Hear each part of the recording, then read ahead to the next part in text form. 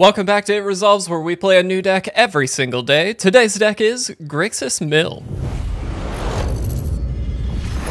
Welcome back, everybody. I hope you are doing exceptionally well. Today, we are jumping back into Explorer for our flex day with a Grixis Mill deck brought to us by somebody who also suggested a standard deck to us last week, which was Vamp, uh, Vampthyr. I believe I'm saying your name correctly. I'm calling you Vamp. Uh, I do really appreciate it. Uh, it really does mean a lot that you would submit these decks to us, so I do really appreciate it. Uh, again, guys, I just want to reiterate, if you've got a standard deck or an Explorer deck, uh, kind of mostly standard, but we're kind of jumping a little bit into Explorer with the channel. If you've got a suggestion for either of those formats, please let me know. I would love to test it out. Uh, hopefully have some fun with it and kind of get to highlight you guys a little bit more as the community behind it resolves. So that's really the goal. Um, all that to say, we're playing one of my all-time favorite strategies, which is Mill. Uh, fully understanding um, that it's not a lot of people's favorite. So uh, if you're not a Mill fan, I totally get it. Don't stress. Uh, you can skip over this video if you want. But uh, I actually do love Mill, and I think this deck is going to be really fun. So uh, it does feature a lot of the usual suspects uh, that we would expect to see. So we've got Ruin Crab, of course, that's going to take advantage of the landfall trigger. One thing I would mention is with Ruin Crab and with being an Explorer, we do open up a lot of other land options with things like Fabled Passage, uh, if I'm not mistaken, and so I would consider maybe trying that, but again, we're playing as is, so I'm leaving it as we have got it for now. Uh, we do have Blood Chief's Thirst here for a little bit of uh, removal along with Drown in the Loch, which is obviously a really good option for a mill deck. Uh, we've got three Maddening Cacophonies uh, which in general is a very good mill card. It's not quite the best, uh, in my opinion. I think Tasha's Hideous Laughter is a little bit better in terms of just how many cards you're going to get right off the bat. So uh, we do have basically six in total of these really big mill spells. Uh, one of the better cards, though, for an engine piece is Teferi's Tutelage. So whenever you draw a card, uh, you get to mill two cards from the opponent's deck. Uh, basically, the stack and the idea is that you can really start to mill quite a lot by drawing cards, which is good because we've got things like Thirst for Discovery, which draws us three cards. We do have to discard two unless we discard a basic land, uh, which again, I think Vamp really did think about because we do have quite a number of basic islands here to ensure that we've got uh, a, a, large number of basic lands. So, uh, well planned there. Uh, but the idea being that we draw a lot of cards, hopefully triggering the tutelage, and then of course milling quite a lot on the opponent's side. Uh, we do have Predation here. Um, generally speaking, uh, in practice, I've only played one or two games with this one. In practice, I found myself playing this as a land more so than I did actually utilizing the spell side of this. Uh, but it is important to note that we actually can. Uh, and so it is nice to be able to pick apart the opponent's hand if need be. Uh, certainly a very powerful one. Uh, we do have Ronan, or Rowan, excuse me, uh, and Will uh, here to kind of cheapen things up for us. And of course, on the Rowan side, we actually can start copying spells uh, if we get to that minus four. So a very powerful ability. On the other side, Will allows us to uh, immediately draw two cards, which again, with the tutelage, is a very good ability. Uh, we do have Ral Storm Conduit, not a card I've seen in a long time. but when you cast your next instant or sorcery spell this turn, you copy it. And then of course you can choose new targets, but the idea being you get to copy something like a Hideous Laughter or a Maddening Cacophony or whatever we need to.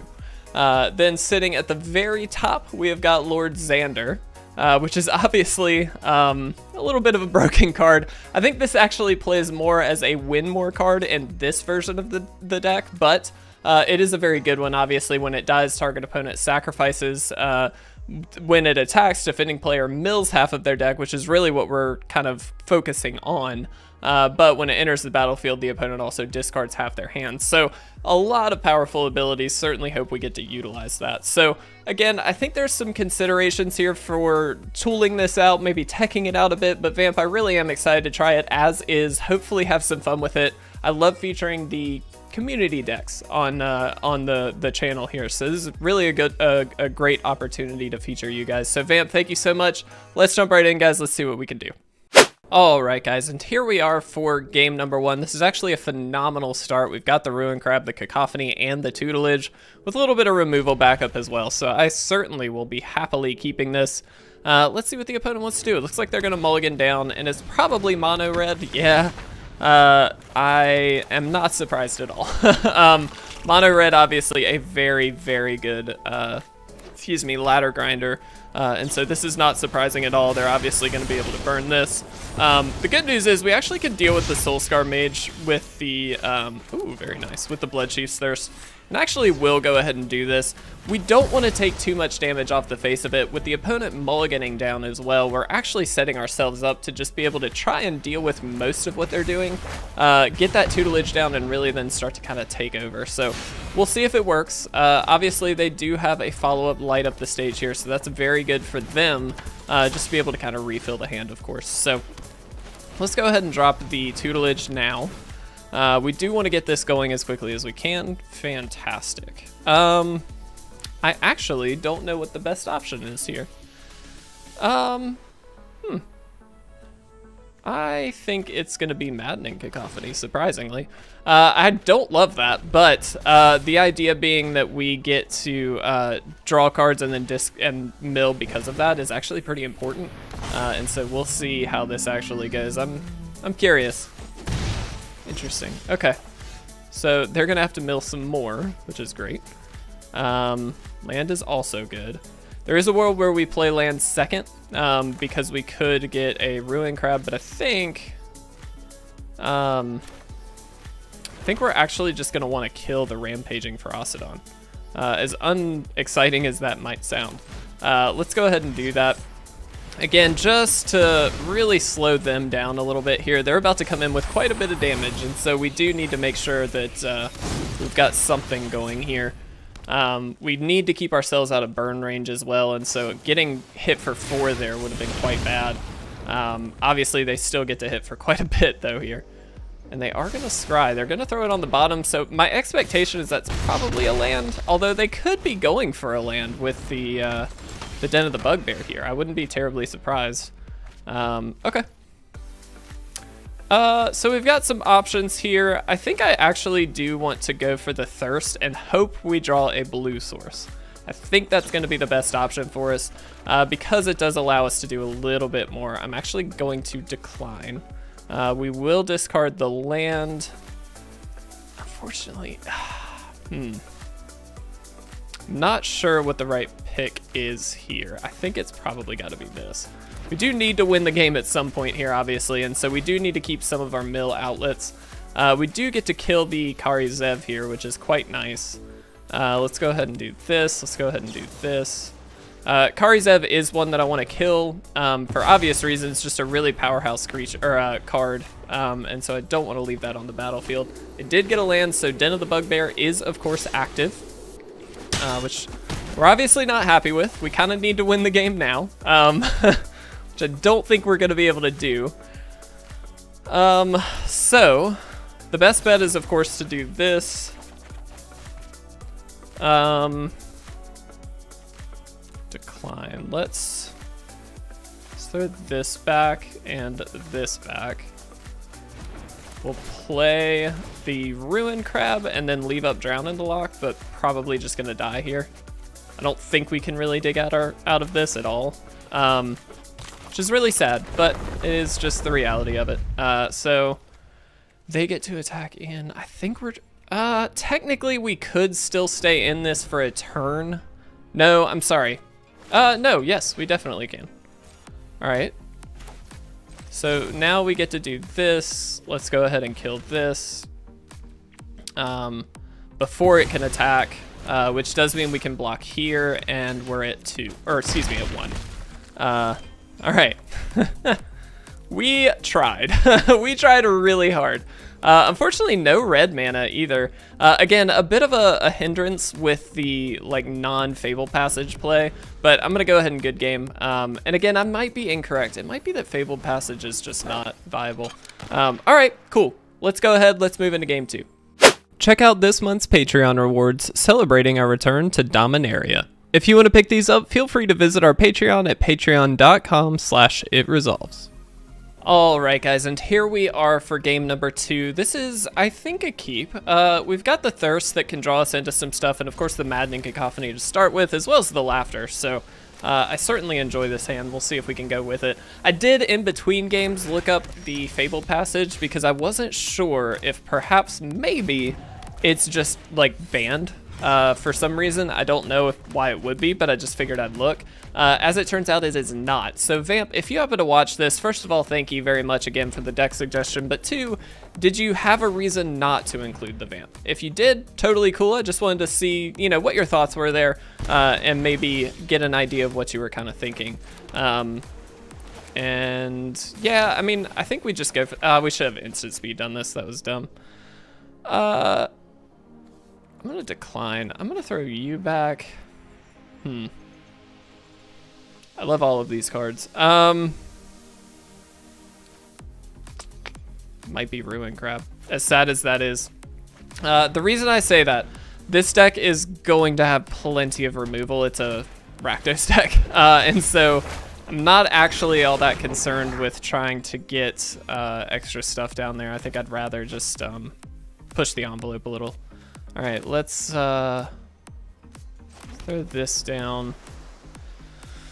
Uh, so we do want to copy the uh, the laughter, so I'm actually going to go this route. We're going to go ahead and plus two just to keep this on the field, uh, hopefully. uh, and I'm actually going to scry that to the bottom. Again, lands are kind of our best friend right now.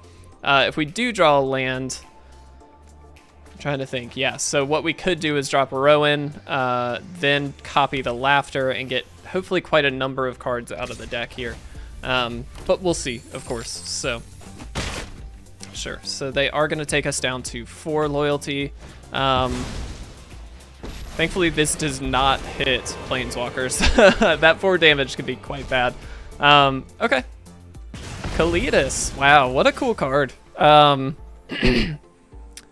Okay, uh, so it is a land, but it is a tapped land. I will go ahead and play it uh, because I do think we kind of just need to. We're gonna minus two. Let's go ahead and hit him with the laughter here. This is gonna copy it. Um, oh, and they just give up. I don't know why they just gave up. I don't think that was necessary. but hey, we did it. We got the win. That was awesome. Uh, Vamp, we did it, my friend. Let's jump into a game three. Alright guys, here we are for game number three, and definitely a keep. We've got Ruin Crab, we've got the Blood Chief's Thirst, then we got some very solid turn three drops, so uh, as well, we actually have all of our colors of mana, so this is certainly a strong start. Hopefully, hopefully we can get another win. Uh, I do really love a good mill deck, so again, I just want to say, Vamp, I do really appreciate you uh, submitting a new deck for us. I really do appreciate it. It's great to see uh, the creativity here, unfortunately, they have a Fatal Push. Not a huge surprise. Um, interesting. Okay. Uh, I think we'll hold on to that. I don't think we have to pull the trigger on that quite yet. Um, next turn, we've got the uh, tutelage, of course, um, and then we'll we'll kind of get a, a good glimpse of what they're actually up to here. Great card for sure. Don't love to see that, uh, but they got it. All right, uh, let's go ahead and do this. I'm gonna go ahead and just tutelage. Uh, we're kind of fueling their fire with the Graveyard Trespasser here, which I understand is not ideal, but um, I think it'll be okay. I think we will get rid of one of the Blood Chief's Thirsts here. Get a couple of uh, good picks here. Uh, so it looks like they're just going to be an Abzan kind of uh, mid-rangey deck, which is obviously a very good uh, yeah, Siege Rhino, certainly a great option uh, for the opponent to be on. Um, don't love that we're going to probably have a hard time here, but it is what it is. Uh, let's see. So they do need to mill a couple more cards. Good hits, again. Very happy to see that. All right, um, so what's the best play for us here? We do have Drown in the Loch. Uh, we do also have just thirst for discovery to kind of get some mill side of things going. We actually also just can wait uh, if we need to. Um, we actually do have this, but I don't know that I love playing that out here. Um, and we do kind of need to play something just to not get this flipped, I suppose. Uh, so let's go ahead. We're actually gonna, let's make sure. All right, so Uh, yeah, so let's go ahead and do this. We're just gonna go ahead and take out that Siege Rhino. Uh, that keeps this from flipping. It also just gets another card in the graveyard, but next turn we've got the Blood Chief's Thirst that we can then use here uh, if, if we need to. Um, but we'll see. Or we might just need to kill that. uh, that's a lot bigger. Um, yeah, kind of wishing we had gone for the Predation, I guess, but again, I, I feel like we made the right call given what we knew at the time, so I'm not actually terribly upset by this. Uh, okay, so we can do this. Yeah, so let's do this. Let's do this. It's gonna mill three. And then let's go ahead. Ah, we can't, can we? We don't have double black. Ugh, should have played this. Um, let's just see what's in the hand here. Um, not expecting much. Yeah, looks like nothing. Uh, so they actually just have us here if they want to. That's a good game for sure. They could just go ahead and basically kill that. Um, yeah, I'm going to go ahead and concede. We have time for a fourth game, guys. So let's actually jump into that really quick. Let's see if we can get another win. All right, guys. Wow, what a bad start to the game four. Let's go ahead and easy mulligan on that one. Uh, and let's see. This is better. It's not great, I'll be honest. um, we need a third land, uh, but we do have Drowned in the Loch available to us, and of course, I guess we can run out that as a third land if we need to. Yeah, I mean, we'll try it. Uh, we do get the Scry here, which is quite nice. We do not need another Ral, so I'm to go ahead and throw that one back. Um, we may end up just having to play the Predation. Hmm. I don't love that, I'll be honest, but uh, that might just have to be the way we play. Okay, uh, it isn't, so that's good. Um, yeah, I think we'll we'll go this route. Not necessarily expecting the predation to actually hit that much. That's the only trick, so it might be it might have been that playing it out there was probably the, just the best option, uh, just so we didn't run into mana issues later. So potentially the wrong call, but we do have our Clearwater pathway, which is going to get the tutelage down here. Uh, so I'm pretty happy with that. Now the question is, do we go for the tutelage or do we go for the predation? Um, I'm actually gonna go for this. So here's the thing, I, I obviously they're mono white, but they could have a lot of really powerful stuff, and so I'd actually really like to be able to get some stuff out of here. Okay, um,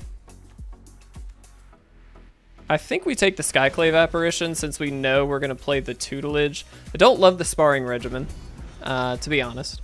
Um, but I think that's probably okay. Yep, we're gonna go ahead and play that out. That is gonna go uh, go ahead and throw a counter here on the Hopeful Initiate, which is certainly a good option. Uh, but importantly, they can't hit our Teferi's tutelage with the Skyclave Apparition, which was going to be their play, I assume. Um, so, let's go ahead and do this first. Interesting. Um, with that in mind, what do we need to do? I think we'll actually throw this back. They're gonna have to mill a couple cards here, which is great. I am gonna throw this out for the land. Uh, and now we've got some options here. We'll we'll see what we end up doing. But uh, the idea being what we could do is drown in the Loch, get this off the field. Um, alternatively, we can try for the Ral Zarek, but keeping in mind they do have a Fateful Absence in hand uh, that they'll be able to deal with it. Uh, the Portable Hole does not hit, crucially, uh, anything. Uh, so this is a literal do nothing card, which is great. I'm kind of surprised they played it at all. Uh, it doesn't necessarily seem like a great play, but hey, that's fine. I'll take it. Um, and there's the environmental sciences. So what we can do is force the issue. So if we play Ral, essentially they have to kill it. Uh, otherwise, they, I mean, we can start doubling up on some stuff, and that's a little too scary, I would think, for them. Um, but maybe I'm wrong. Maybe they just uh, go for the power plays. We could, we could see a lot of different stuff here. So Land isn't bad, actually. I'm pretty happy with that. Um, so I am actually going to go this route. Uh, again, knowing that they can easily just kill Ral. Um, but I think I'd rather them do that than anything else at the moment. Um, And yeah, I think that's worth keeping. Uh, my thing is we do just need to draw further into the deck. So at some point, I feel like that's probably just the better option. Uh, now they've got four, five mana, so they could play both of these spells knowing that we may just not have a creature. Interesting, so they can hit the tutelage? Why? That doesn't seem optimal. Seems like they should hit the tutelage, so that way... Hmm. Very interesting. Uh, okay. So they are going to get some big plays out here, which is certainly scary, but we actually do just have Double Drown on the lock to deal with it, so I'm actually not that concerned. Kind of curious to see what they do. I guess they can just kill this if they'd like, uh, although they don't have the mana to do so right now, so... With that in mind, we are just going to go ahead and kill this one. Uh, yeah. I think that's for the best. I'm honestly, I don't love doing this, but this keeps them from being able to kill the tutelage at any given point. So they have no way to kill it in hand. If they were to attack in, they would be able to get the counter, and then they could actually, uh, in response, kill the tutelage. So we would have had to have done that before they actually deal damage anyway. Uh, so I think this is just for the best, as much as I, I wish we had a better option there. Um, excellent. Basically, we just keep killing their stuff as best we can. Um,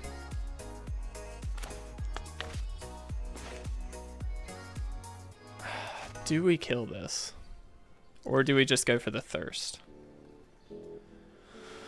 Can they kill us next turn? I don't think so. Let's go ahead and thirst. Um, we could have waited, I suppose, but I'd actually like to see if we just get like a ruin crab or something this turn, uh, because I would like to play something if we can get it. Um, Unfortunately, not great options here.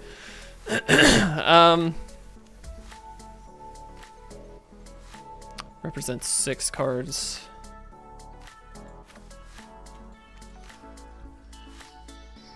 Hmm.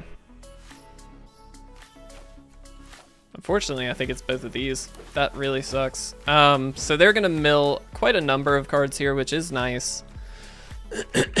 I would really love like a Tasha's Laughter. That would be really helpful against a deck like this. Um, let's go ahead and drop the Ruin Crab.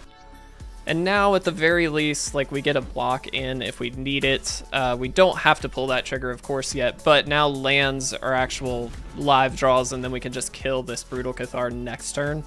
Um, that was, it's tricky. I find myself not wanting to discard any of the cards that we're finding. Uh, and maybe that's just me incorrectly assessing. You know what I mean? I mean, that's obviously I'm not a, a pro player, so obviously that could be an option. Um, but I just feel like there's so many important pieces to this puzzle uh, that it's a little bit tricky. I, I find it kind of difficult. Nice. Uh, that's very good. Okay. So they're going to get a 1-1 counter here. They're going to get a 1-1 creature. Draw a card. Okay, so we can pop this just to see what we get. Uh, although I'm not super optimistic. Yep. Uh, that mills a couple more cards. Uh, okay. And we're just dead, unfortunately. yeah, unfortunately that's not going to be enough. They just they just have us. Uh, that's cool. Let's jump into the wrap up, guys. All right, so first and foremost, Vamp, again, I just want to say a huge thank you to you. I really do appreciate you submitting this list. Again, I didn't want to make changes to it. There were a couple nuances that I feel like we could consider, though. Uh, and again, you may have a reason for either not including these cards or including these cards, so feel free, let me know in the comment section what your opinions are on this. Uh, first and foremost, I don't think the Ruin Crab is 100% well utilized when you don't have things like Fabled Passage, even something like as silly as Evolving Wilds, obviously Fabled Passage is much better. Uh, I do keep in mind, obviously, that that does mean uh, you could potentially run into a tapped mana issue. That being said, though, you also solve an issue, which is that you can fetch, obviously, whatever color you need, uh, given whatever circumstance you're in. So there is some opportunity there for optimization. Uh, I would also suggest, while Lord Xander is really fun, uh, I don't think he's at his best in this deck. I think this deck is looking to be efficient uh, and ideally double up using something like Ral. uh, on a Tasha's Hideous Laughter or a Maddening Cacophony, we really found ourselves discarding a lot of those cards as well, which was, I think, possibly just my own error, so keeping in mind. But I do also think that um, you're you're balancing quite a bit of things, and I think narrowing the focus of the deck mostly to mill uh, by including the full four of potentially Maddening Cacophony and the Laughter might be just a better way to go. Um, again, that could be wrong. I don't know, but I just I'm curious to know if you have tried that uh, because I do think that could be helpful. So again, just my opinions. And again, guys, anybody watching, please feel free to share your thoughts on this if you think it could be better. Uh, obviously, I didn't play perfectly, so I'm sure there are some errors there, but it was still a fun time. Uh, so Vamp, thank you so much, my friend. I really do appreciate you sharing. Uh, again, guys, if you have a deck that you would like to share with us, either Standard or Explorer, feel free to. I would love to see what you guys have uh, to offer, and we can throw those onto the video page or the YouTube page and uh, hopefully share that with the, the greater community. So thank you guys so much. I really do appreciate it. Love you guys. I will see you tomorrow.